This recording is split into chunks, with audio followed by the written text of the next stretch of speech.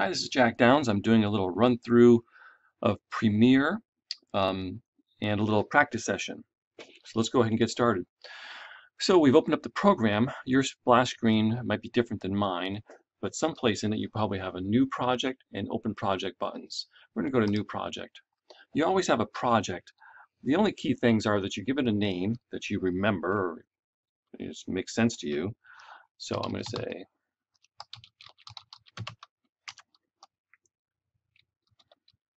You go with the date. I think that can be helpful. Um, and otherwise, uh, you need to browse to make sure you know where it's going to go. Mine's going someplace that's going to be useful for me already, but make sure you know where it's going to go. So browse for that. Ignore all the rest of this stuff and say OK. Program is not the fastest thing in the world. It takes a little while to do stuff, so we are waiting. I'm going to pause for a moment. And finally, I came back. So I don't know, uh, but when you open it up the first time, you frequently have a learning workspace it may have defaulted to, which might show you different tutorials and so on. But I generally, I do like using those workspaces up here. Some people don't. They aren't required.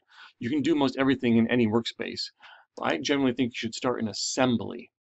By the way, if any of the workspaces don't look the same to you, well, you might be using a different version, might be slightly different. Also, anytime you can go to the workspace and reset to saved layout, which will bring things back again, especially if you start lose windows or things go a little out of control. So this got this big area here to import media. Yes, you can get it in like 12 different ways. I like just dragging and dropping it in. These are the files I'm using. If you're playing along with me and you're in a class, then you can get these on Moodle.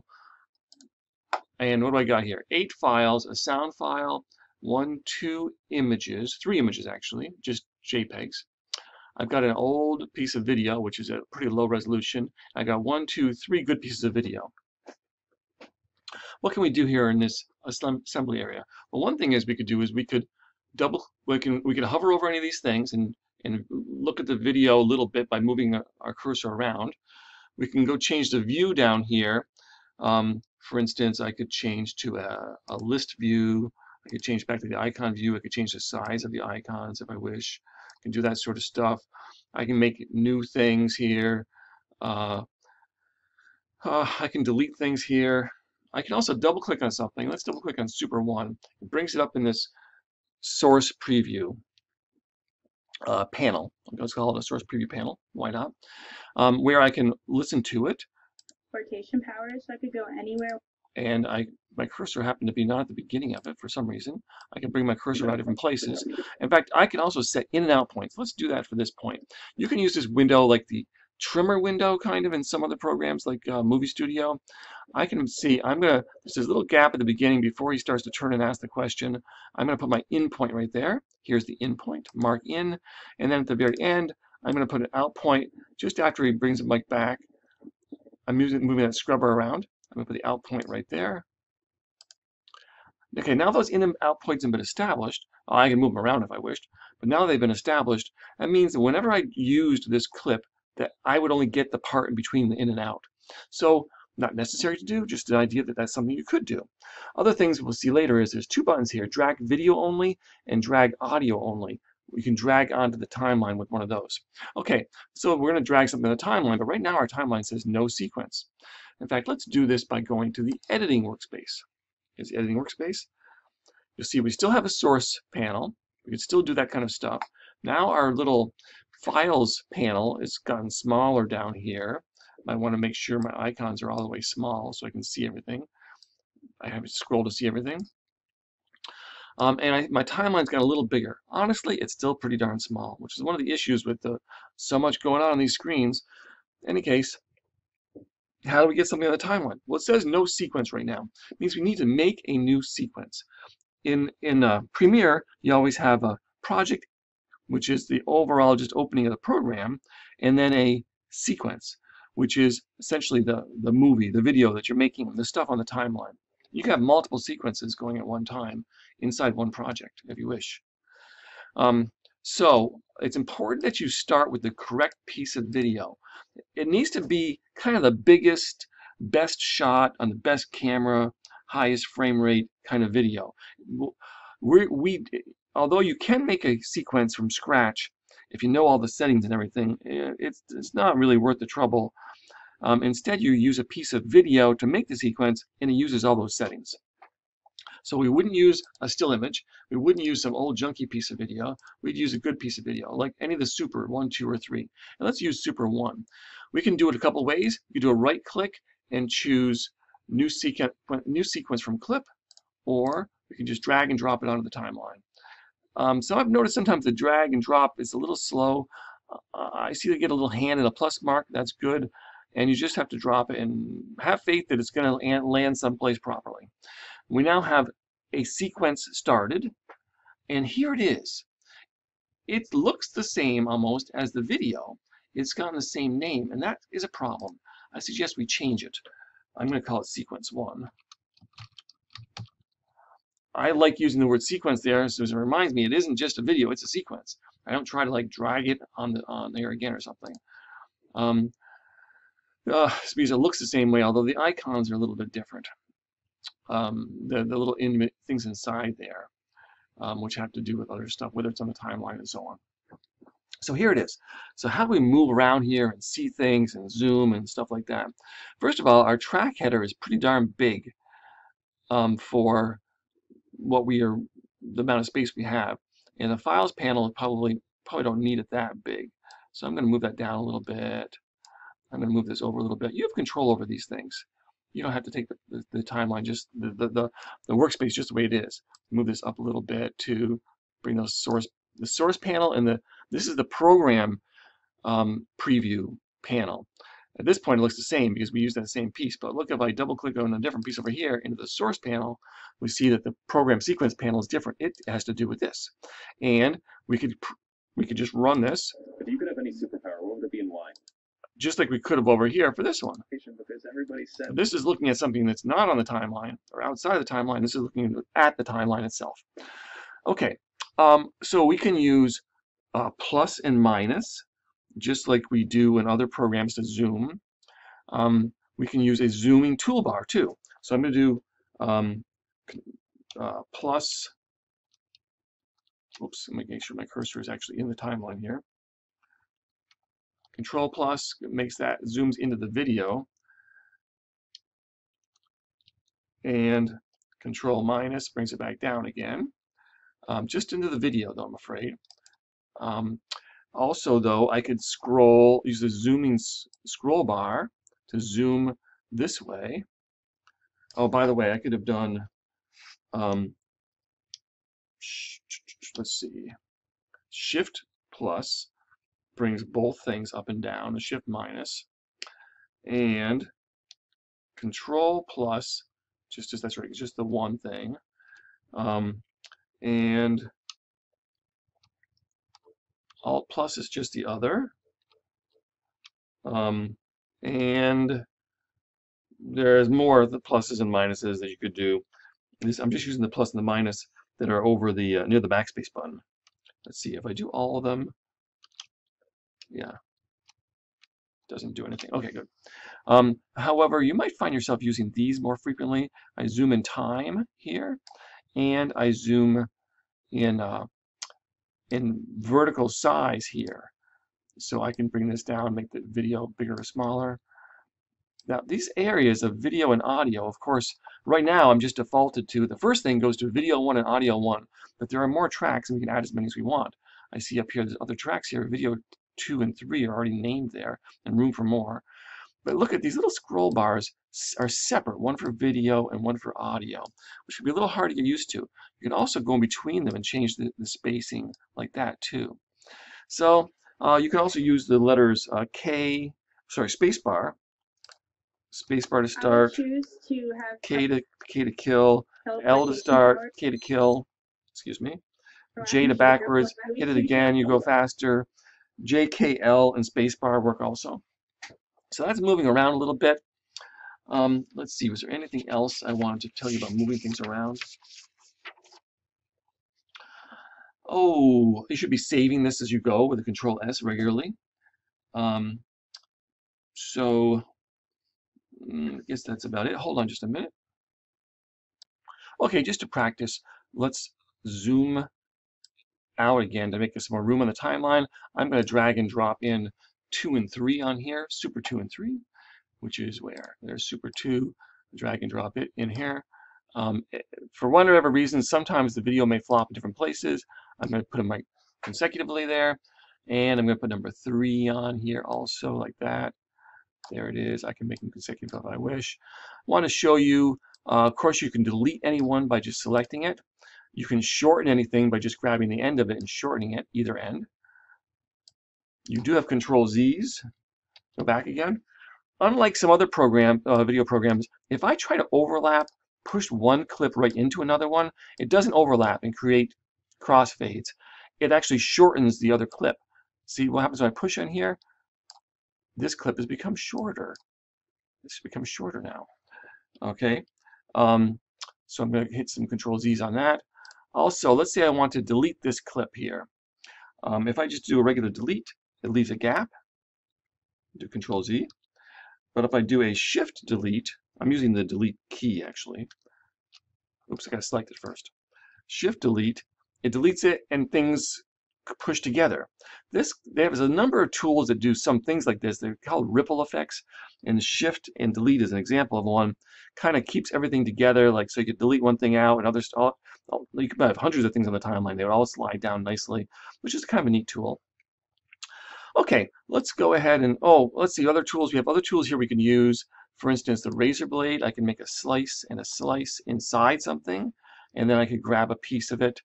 So the selection tool and I could delete it or shift delete select it again I gotta click on it like that um, there's I don't think you can use the pen tool very much here hand tool I don't think so type tool I don't think so really so much ripple edit um, track select for well the slip tool and the ripple edit tool maybe we'll get to those later if we have time you, or you can learn about them. They're not that necessary, but they're interesting. Okay, let's go ahead and delete everything on from the timeline except for um, track one, which is still there, super one, which is still there. And this time, I want to drag on two normally and three with video only. Here we go.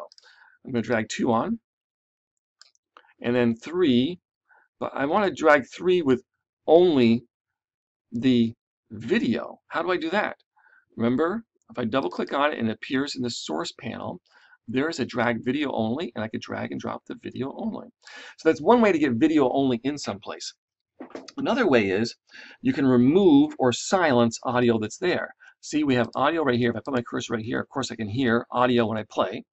I have teleportation powers, so I could go anywhere whenever I want. Okay. Do you notice that we're only getting audio mostly almost all just one So, channel? if you could have See these these levels over here? That's another problem, a different problem we may have to we'll have to deal with later. More on that later. Okay, but we want to get rid of the audio from each of these. Well, there's a couple ways we can do it. So I could select the clip and do a right click and choose unlink, which now separates the video and the audio. And now I could delete either one, or move them separately if I want to for some reason. I'm just going to delete this one. So that's one way to get, another way to get rid of audio or video, instead of just dragging them in that way. Um, over here, and by the way, did you notice that we only got the portion of the clip that was in between the in and out? No, you didn't notice. Well, believe me, or you can check it yourself. Um, okay, so now there's another way that we can we can do this. Actually, of course, there's probably 12 different ways we could do it. But let's look at this the audio on this clip here. Um, and I have the regular selection tool, which is kind of important. And I'm going to zoom in a little bit more with the zooming toolbar. Scroll over there, and I'm going to zoom in a little more over here too with my zooming toolbar. See the line between the two left and right channels? If I hover over it, my cursor changes. I will get a gain line. So now, see an autosave just happened there, which is a nice feature. I'm going to grab the gain line, I can yank it down. I can re reduce the, the volume, the amplitude or gain of this, of any audio uniformly across the entire thing like this. Um, and just by a little bit, which might be an important thing to do, or I can reduce it down to zero. So now the audio is still there, but I can't hear it. Ready? Nothing there. She's talking and nothing's coming out. So that's another way to, to do that. Um, so I'm going to, I want to, let's just shorten these guys up quite a bit to make some more space here. We have for whatever reason, and this will be apparent when you do your real video, you might have some little clips of something you're going to show later. And but you don't want you want to do something like have your intro. Sorry, little hiccup there. Had to uh, go to class. But here we go again. So all I've done is arrange these three clips, shorten them, and remove the sound from all of them, one way or another. Uh, various ways of doing that. Now I want to put a title on at the beginning. Um, honestly, because we don't have sound underneath it, I could I could stagger and make the title kind of consecutive. I would go, how do I go to titles? Mm, well, actually, till now I should have been in editing. I'm going to go to titles, which is graphics. And here, I can click on Browse. Oh, hold on just a moment. Sorry, as usual, uh, program is having trouble waking up. So I go to Browse. You may have access to Adobe Stock, um, but I think in my templates is probably everything you're going to need. Your choices may not be the same as mine here. If I scroll down, I could see I have a plain old title here. I'm going to grab that one. But there's lots of other ones. Some do fancy things. They'll show you their little movements sometimes if you hover over them. So I'm going to drag this one out and drop it on top of, and put my cursor there also so I can see in there. I can see the title showing up there. There it is here. The reason it looks black here is it's actually just transparent. Okay, so what do I do? Well, if I want to edit it, I can just click in here into the text and I can type, you know, my movie. Let's use some exclamation marks. Why not? Um, maybe that's not enough text. I want to see something else. I can actually just use my text tool and drag a little box here and type some more. Type more. And I could open up that box more. I could center things. I think, man, no, that's that's the wrong font. I don't want it to be black. I want it to be light. And I want it to be that size. I want it to be smaller. And I want it to be centered, so on and so forth. You see I've gone to this editing area as opposed to browse, just automatically by clicking in. Or I can go back and forth between them. Um, but now I say, that's great, but you know what? I want it to be on a black background. Well, how do I do that? Well, the easiest way to do is to bring a black matte in between them here. So I grab my title and move it up to this layer. And in between here, I put a black matte in there. Um, some of you might find, if you browse, you might find a solid color here. I have one, a solid background. I could just drag that over here. But instead, uh, some of you, I, I, guess in some installations, this isn't here. I don't know why. Of course, then you could turn it to black or whatever color you wanted to. But let's go ahead and make something new. There's a new item button way down here on the Files panel, New Item. Um, you could go File, New, um, here, Color Matte. Either place you get to the same thing, Color Matte. It's gonna, these settings are probably fine. It should be picking up from our project, we hope, for our sequence. And I'm just gonna say okay. And for color, I'm gonna go pick uh, black, which is probably was gonna be already, and I could check here to see whatever, whatever. RGB is that's supposed to be zero actually. Be completely black. No, not. Oh, come on. Zero. RGB of zero is black. Say OK, and I'll name it black. Say OK. Come on, OK. And I made it down here, and I can just drag and drop it in here. It actually came in the same size. And now, look at it's black underneath there now. I can make it any color I want. So you can make color by just making color matte.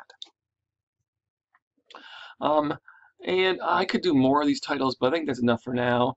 Um, we'll leave it like that. And you, you don't have to have black. I mean, you could just do the transparent one too. And then maybe you'd add more effects to the like outlining and color letters or something else. You can also move them around there. Uh, did I show you that? Let me yank that out here. Um, I could just grab the darn thing and my selection tool, not a type tool anymore, and I could move it too. Uh, did I get it screwed up? Well, I could tell it to be horizontally centered and even vertically centered with these buttons here. I can do more aligning and stuff here too. Got lots of type on here. Good enough for now. Okay, now let's drag number one on again right there with its audio. and take a look at it. Um, something looks funny here. I only have audio mostly in one channel. In fact, if I play here, I'll put my cursor there, and I'm going to play, I'm going to watch these levels over here. Oh, I might as well go back to my editing area too if I wish. Although honestly, I doesn't think, you could do anything in any workspace, so it doesn't really matter, I suppose. I'm watching the levels over here now, and I'm going to play. Over to BNY. Look at, there's a little bit of, back, of noise here, but it's mostly all so in just one channel. Whenever I want. and that's bad. We want to have our sound in both channels. Um, I've seen a presentation destroyed by this problem because some some presentation systems only send one channel, and you hope that it's the right channel. Um, this is probably because there's a problem with the mic, but actually lots of mics do this, so it's not that unusual. So how are we gonna get the sound on both channels? There's a few ways to do it. Here's a here's a good way to do it. I'm gonna do a right-click audio channels, and what I see here is media source. I see on my, le my left channel has a sound, the right one doesn't. So I'm going to take the left channel and send it also to the right channel. So I say OK. And now I have the sound in both of them. And if I play it, it will sh show up in the levels also. Choose to have teleportation also see that it's a little, the level's a little high. It's bouncing up into the red there. That's not good. I could bring that levels down a little bit. How do I do that? I want to bring the levels down for an entire area. The audio output or the gain here, amplitude. I can grab this slider. Uh, my cursor turns to a up-down slider, which is volume. When I hover over the center between the two channels. Okay, so if I grab this and yank it down a little bit, tell me how many decibels I'm removing. I'm, I'm going to go down to about minus three or four, three something, whatever. Now I'll play it. power so I could See, go it's, anywhere it's actually not want. come up quite as high, which is nice. Um, so we uh, changed it to sound coming both channels, and we uh, also learned to use this little uh, indicator, this this line to change the overall volume of something, which we kind of already knew, I suppose. Now let's go ahead and stick some more sound in here. I'm going to scroll down so I can see the, this, the audio track below that. And right the, from the very beginning on through, I'm going to drag this piece of audio, this just song file here, right? And if I play it, I'm going to delete the very beginning, by the way. I mean, I mean, sort of like crop to remove the very the tip there. And if I play it from over here someplace, well, it's actually playing over there, but you get the idea the sound. The sound is okay. Um, I guess the the volume is all right, but the problem is going to be over here, when I get to this point, we have somebody talking.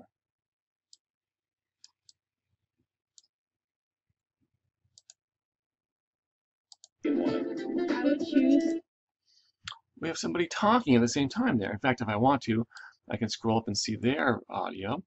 So what are we going to do? Well, where they start talking here, and I want more space. I always run out of space in this program. I'm going to change the difference between the audio and the video portions here. Also, I'm going to open up this audio portion a little more. Will they start speaking, I'm going to make the volume go down, then go back up again. So this is using an envelope.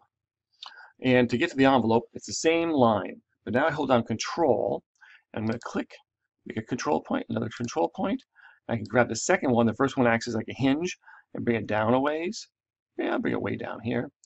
And I could listen to it. I could actually be listening to it while I do this if I wish. It's a little bit unnecessary, but volume goes Down.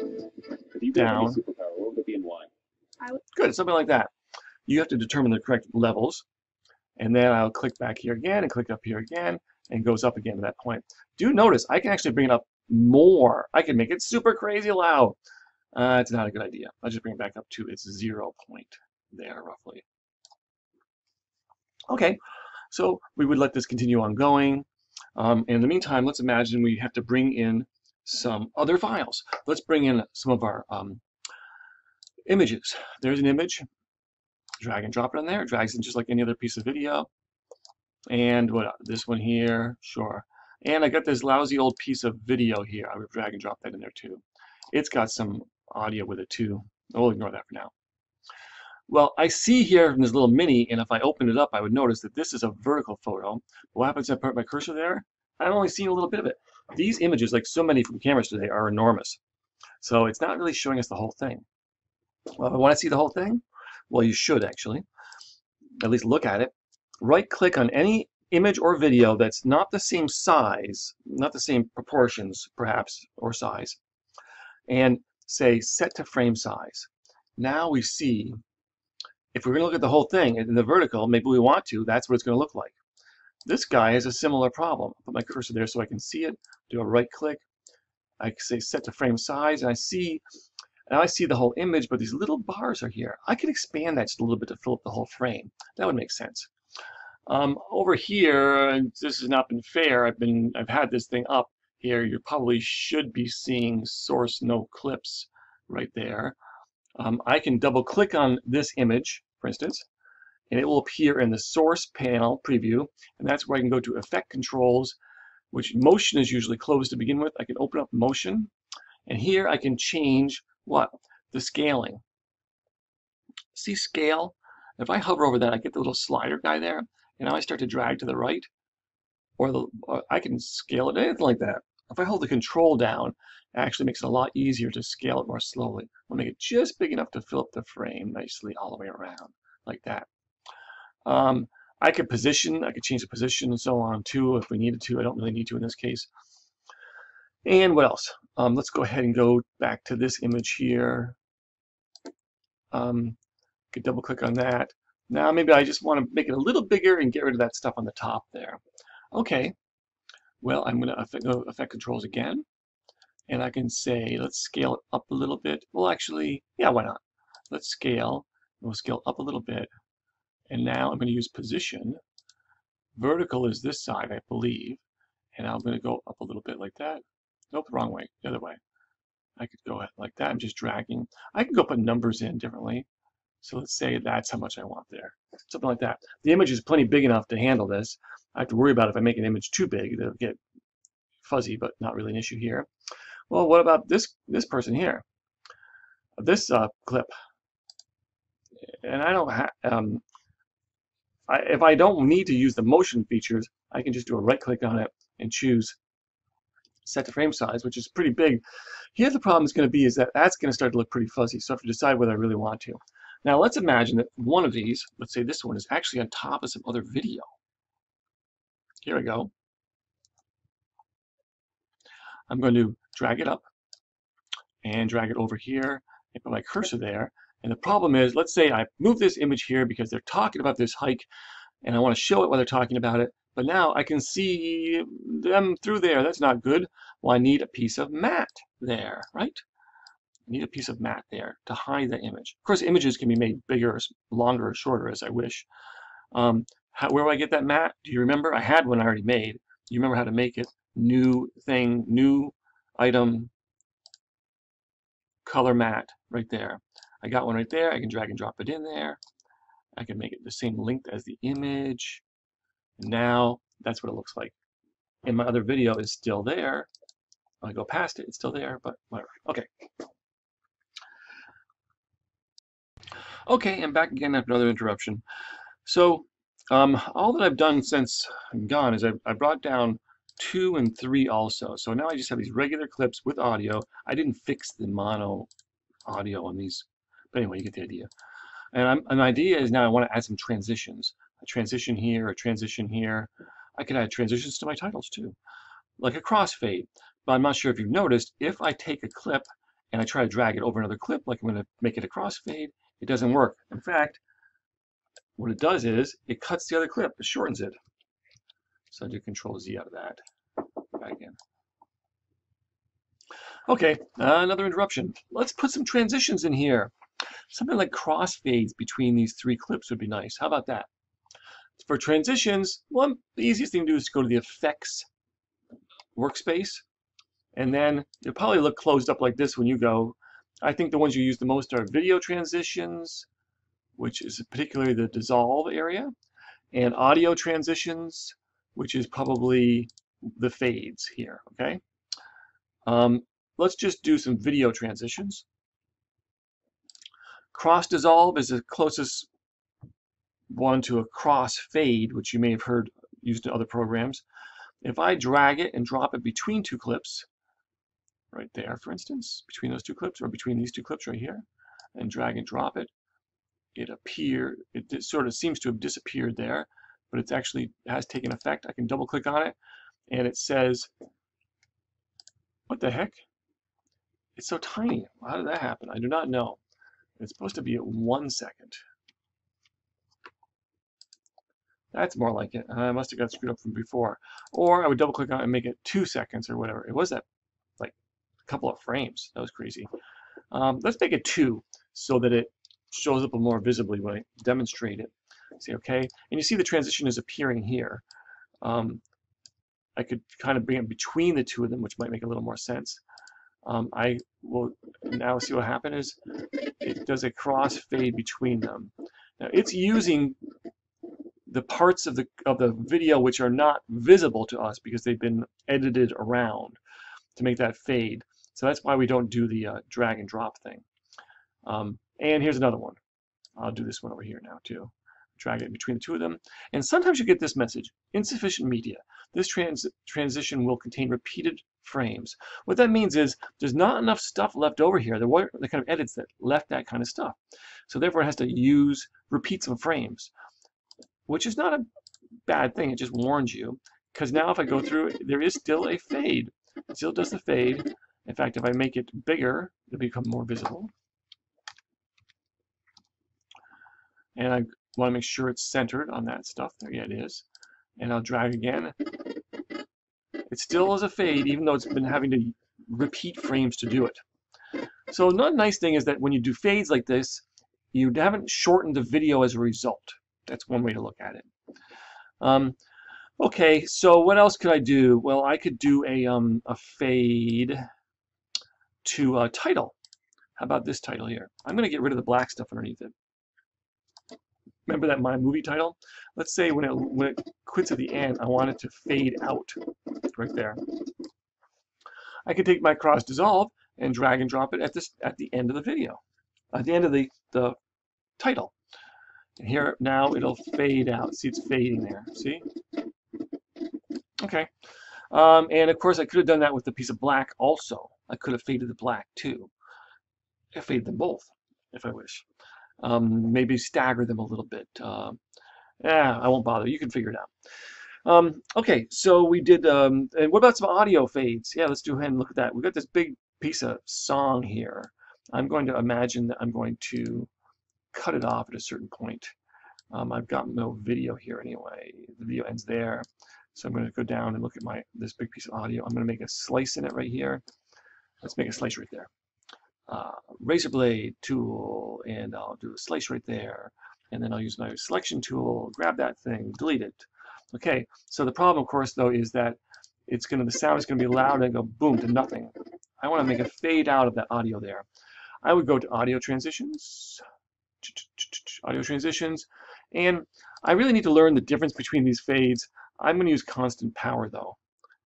Sounds impressive. Constant power. Double click on it, and I'm also going to make it two seconds to make it last a little longer, to make it a little more visible. Although one is probably fine. So now let's listen to it at the end. Um, I better play through it. And listen. I think that's what I with. Okay, it fades out over two seconds. Fades out very nicely. So uh, I can do audio fade in at the other end. Uh, there isn't a fade in and fade out. It just fades, whichever side of it you stick it on. Um, so I'm going to save my work now, too. There's a save. I haven't done that often enough. And finally, um, let's imagine I've done all the work I need to do. That's most of the skills you need. Let's go ahead and export it. Um, again, I could go to any of these workspaces to do it. I'm going to go back to editing because just to say I did. There I am in the editing workspace. And I'm going to do, I can do Control M or File, Export, Media. I've noticed that some people do that, Control M, which I'll do now, or File, Export, Media, and then they, and then nothing seems to happen. And they have to wait and try it again and again. I don't know why. I think it's just the program having problems. So if it doesn't work, nothing comes up, um, try the alternative. If you did the menu, try the shortcut key, Control M. And if still nothing comes up, wait a while and try it again. Worst comes to worst, save your work, close the program, open it back up again, open that project again, that sequence again, and it should be, it should work.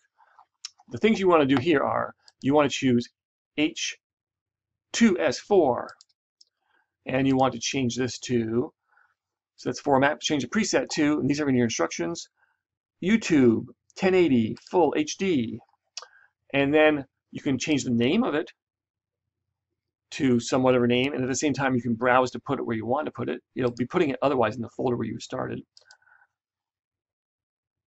Oh, great. Okay, let's wait for it to respond. So guess what? I crashed, but I'm back here again. So we change that to as shown. Change the preset to as so shown. Change the name and change the, the location if we wish.